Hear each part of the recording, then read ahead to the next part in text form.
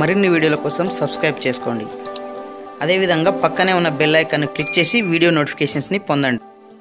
Hi friends ఇప్పుడు మనము multiplication సంబంధించినటువంటి ఒక మ్యాథ్స్ ట్రిక్ అనేది తెలుసుకోబోతున్నాము. సో మనకు కొన్ని గుణకారం సంబంధించినటువంటి uh, ప్రాబ్లమ్స్ అనేది మనకు ఎగ్జామ్ పాయింట్ ఆఫ్ వ్యూలో కూడా వస్తుంటాయి. దాన్ని సింప్లిఫికేషన్ చేయాల్సినటువంటి అవసరం ఉంటుంది అంటే గుణకారం చేయాల్సినటువంటి అవసరం ఉంటుంది. సో దాన్ని ఎంత షార్ట్గా చేస్తే మనకు అంత టైం అనేది సేవ్ అవుతుంది. సో అందులో భాగమైనటువంటి ఈ ట్రిక్ని ఇప్పుడు మనం తెలుసుకుందాము. సో ఇక్కడ చూడవచ్చు మనము యాభై ఆరు ఇంటూ యాభై నాలుగు. సో ఈ యాభై ఆరు ఇంటూ యాభై నాలుగు అనే సంఖ్యను మనము ఒక విత్ ఇన్ త్రీ సెకండ్స్లోనే అంటే మూడు క్షణాల్లోనే దీని యొక్క సమాధానం అనేది మనం తెలుసుకోవచ్చు. అది ఎలాగో చూద్దాం ఇప్పుడు మనం. సో చూడండి ఇక్కడ మనకు యాభై ఆరు ఇంటూ యాభై నాలుగుని మనం ఏ విధంగా చేయాలంటే ఒకసారి మీరు బాగా అబ్జర్వ్ చేయండి. ఒకటి అబ్జర్వ్ చేస్తే మిగతా అన్నీ మీరు ఈజీగా చేయొచ్చు. సో ఇక్కడ మనం చూడొచ్చు ఇవన్నీ కూడా రెండు అంకెల సంఖ్యలే. సో ఈ రెండు అంకెల సంఖ్యలో యాభై నాలుగులో ఒకట్ల స్థానంలో నాలుగు ఉంది పదుల స్థానంలో పది ఉంది సో అదేవిధంగా ఎడమవైపు ఉన్నటువంటి సంఖ్యలో మరి ఒకట్ల స్థానంలో ఆరు ఉంది పదుల స్థానంలో ఐదు ఉంది అయితే దీన్ని మనం తెలుసుకోవడానికి ఏం చేయాలంటే ఈ ఒకట్ల స్థానంలో ఉన్న ఆరుని మరి పదుల ఈ ఇక్కడ ఒకట్ల స్థానంలో ఉన్న నాలుగుని ఈ రెండింటిని గుణకారం చేయాలి. సో ఆరు నల్ల ఇరవై నాలుగు. సో ఇరవై నాలుగుని మనకి ఇక్కడ ఈ ఇక్కడ ఒకట్ల స్థానంలో పదుల స్థానంలో ఇరవై నాలుగును వేసుకోవాల్సి ఉంటుంది. సో తర్వాత నెక్స్ట్ చూడండి. సో ఇక్కడ ఎడమవైపు ఉన్నటువంటి పదుల స్థానంలో ఏదైతే సంఖ్య ఉందో సో దీనికి ప్లస్ వన్ చేయాలి. సో ప్లస్ వన్ చేస్తే ఏమవుతుంది? ఐదుకి ఒకటి కలిపితే ఆరు అవుతుంది. సో ఈ ఆరుని ఈ ఆర్ని ఇక్కడ ఉన్నటువంటి పదల స్థానంలో ఉన్నటువంటి సంఖ్యను గుణించాలి. సో ఆరు ఐదుల మనకెంత? ముప్పై. సో మీరు చెక్ చేసుకోండి దీని ఆన్సర్ ఇదే.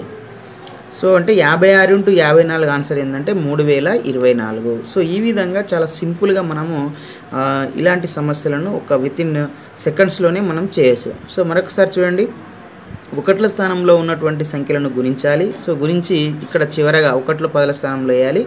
సో అదేవిధంగా పదల స్థానంలో ఉన్నటువంటి ఎడమవైపు పదల స్థానంలో ఉన్నటువంటి సంఖ్యకు ఒకటి కలపాలి. సో కలిపగా వచ్చిన దానిని మరి అదేవిధంగా కుడివైపులో ఉన్నటువంటి పదల స్థానంలో ఉన్నటువంటి సంఖ్యను రెండింటిని గుణిస్తే వచ్చిన సంఖ్యను ఈ మిగిలిన వాటిలో ఫిలప్ చేయాలి. సో ఇదే మనకు ఆన్సర్ అవుతుంది. సో ఈ విధంగా. సో నెక్స్ట్ మరికొన్ని కూడా చూద్దాం. మనకు ఈజీగా ఉంటుంది. ఒకసారి చూద్దాము. సో ఫర్ ఎగ్జాంపుల్ మరొక ఎగ్జాంపుల్ చూద్దాము.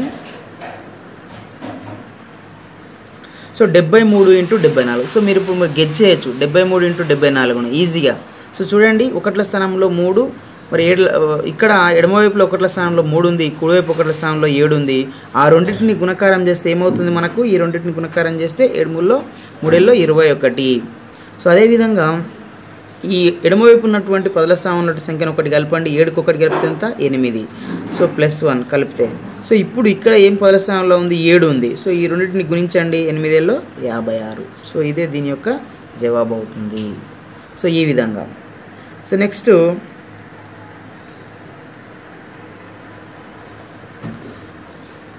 సో నెక్స్ట్ ఎనభై ఎనిమిది ఎనభై రెండు. సో దీన్ని ఇప్పుడు మీరు ఆన్సర్ గెట్ చేయొచ్చు. సో రెండెంబులో పదహారు అవుతుంది. ఎనిమిది రెండులో పదహారు అవుతుంది. సో అదేవిధంగా ఇక్కడ ఎనిమిదికి ఒకటి కలిపితే తొమ్మిది తొమ్మిది ఎంబుల్ డెబ్బై రెండు. సో చూడండి ఎంత సింపుల్గా మనకు చాలా షార్ట్ టైంలో వస్తుంది కదా. సో అదేవిధంగా సో మరొకటి చూడండి ఇక్కడ. నూట పద్దెనిమిది ఇంటూ నూట పన్నెండు.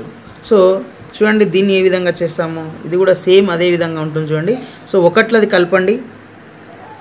అంటే ఎనిమిది రొంట్ల పదహారు. అంటే చివర్లో మన కుడివైపు నుంచి వేసుకుంటూ రావాలి. సో అదేవిధంగా ఈ పదకొండుకి ఒకటి కలపండి. ఎంత? పన్నెండు. సో ఇక్కడ పదకొండు ఉంది కదా ఈ పన్నెండు పదకొండుని ఇంటూ చేయండి. సో పన్నెండు పదకొండు ఇంటూ చేస్తే మనకు ఎంత వస్తుంది? నూట ముప్పై రెండు.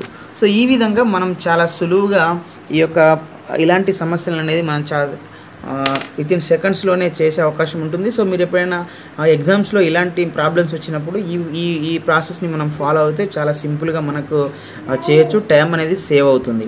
సో అయితే ఇలా ఈ మరి ఈ ట్రిక్ మరి ఫాలో కావడానికి మన కండిషన్స్ కూడా ఉన్నాయి. సో ఆ కండిషన్స్ ఏంటంటే మీరు ఈ ఉన్నటువంటి అన్నిటిని అబ్జర్వ్ చేస్తే మీకు ఒక అవగాహన అనేది వచ్చి ఉంటుంది. సో అదేంటంటే మనకు ఈ ఎడమవైపులో ఉన్నటువంటి పదుల స్థానంలో ఉన్నటువంటి సంఖ్యలు అనేది సమానంగా ఉండాలి. సో పదల స్థానంలో ఉండే సంఖ్యలన్నీ కూడా సమానంగా ఉండాలి. మరి అదేవిధంగా ఈ ఒకట్ల స్థానంలో ఉన్నటువంటి మొత్తం అనేది పదికి సమానం కావాలి. చూడండి ఇక్కడ ఐదు ఐదు ఉంది ఏడు ఏడు ఉంది ఎనిమిది ఎనిమిది ఉంది పదకొండు పదకొండు ఉంది. అదేవిధంగా మూడు ఏడు పది ఎనిమిది రెండు పది ఎనిమిది రెండు పది. సో ఈ విధమైనటువంటి కండిషన్ ఉన్నట్లయితే మరి ఈ ట్రిక్ అనేది పనికొస్తుంది. సో దీన్ని ఉపయోగించి మీరు చాలా స్పీడ్గా మరి చాలా షార్ట్ టైంలో తెలుసుకోవచ్చు. దీని యొక్క సమాధానం. ఇది ఫ్రెండ్స్ మరి ఈ ట్రిక్ సంబంధించి మనం తెలుసుకున్నాము. సో మరి ఇలాంటివి కాకుండా మరి ఇలా సమానం కాకుండా వేరే జనరల్ జనరల్ మల్టిప్లికేషన్ ఉన్నప్పుడు ఏ విధమైనటువంటి ట్రిక్ ఫాలో కావాలో నెక్స్ట్ వీడియోలో చూద్దాము.